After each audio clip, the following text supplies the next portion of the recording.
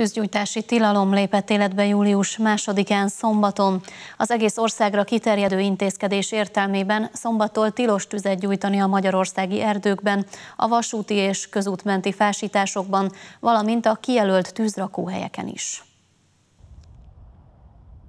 650 hektár vált már a lángok martalékává idén Zala megyében. Sármelléknél például 480 hektáron égett egy föld terület. Az utóbbi időszakban megszaporodott a szabadtéri tüzek száma, ami már elérte a 160-at. Általános jelenség, hogy a nyári hőségben a mezőgazdasági munkák idején megemelkedik a riasztások száma.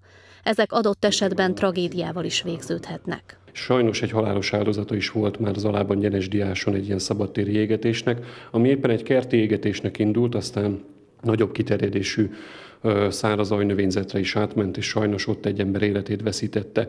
Úgyhogy mi arra kérünk mindenkit, hogy nagyon figyeljenek oda ebben az időszakban arra, hogy valóban tartsák be ezt a szabályt, és ne gyújtsanak meg semmit.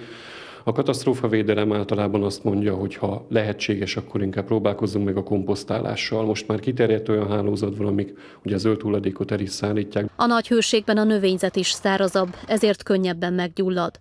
Júniusban országszerte 1100 tűz keletkezett a szabadban, amelyeknél 17-en sérültek meg. A leégett terület nagysága pedig meghaladta 20 millió négyzetmétert.